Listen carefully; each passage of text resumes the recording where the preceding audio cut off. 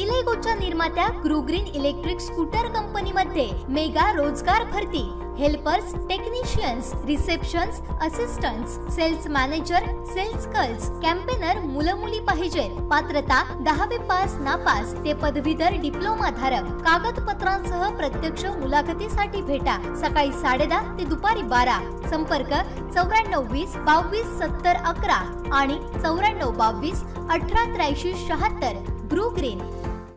डीपीडीसीची बैठक लावा मग इथून रत्नागिरीला जाऊन दाखवा असा इशारा आमदार नितेश राणेंनी काही दिवसांपूर्वी पालकमंत्री उदय सामंत यांना पत्रकार परिषद घेऊन दिला होता. या इशाऱ्यालाच पालकमंत्री उदय सामंत यांनी प्रत्युत्तर देत सोळा नोव्हेंबरला जिल्हा नियोजनची बैठक घेऊन मी रत्नागिरीला जाणार आहे. कोणी ती अडून दाखवा अशा शब्दात उदय सामंत यांनी नितेश राणेंना प्रत्युत्तर दिलं आहे पाहूयात. जिल्हा नियोजनची बैठक सहा महिन्यांच्या आत लावली गेली पाहिजे होती. मात्र जिल्हा नियोजनकडे विकास निधी नसल्यामुळे ही बैठक होत नाही आणि त्यामुळे जिल्ह्याचा विकास खुंटला आहे असा आरोप आमदार नितेश राणे यांनी केला होता. मात्र या आरोपाचं खंडन पालकमंत्री उदय सामने यांनी आजच्या पत्रकार परिषदेत केलं. खरं तर जिल्हा नियोजनची बैठक आम्ही कधीच लावली होती. मात्र जिल्हा परिषद अध्यक्ष आणि महिला बाल कल्याण सभापती यांनी सहलीचं कारण देऊन आम्ही लावलेली बैठक पुढे घेण्यात यावी अशी विनंती केली होती.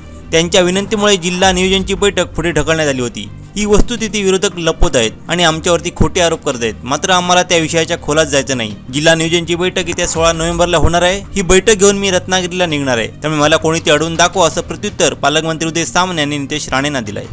सोळा तारखेला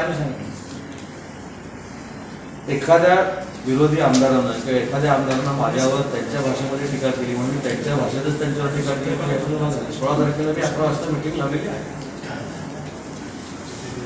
आणि मला इथं जायला द्यायचं की नाही हे स्पेशल सोळा तारखेला आहे मी सांगितलं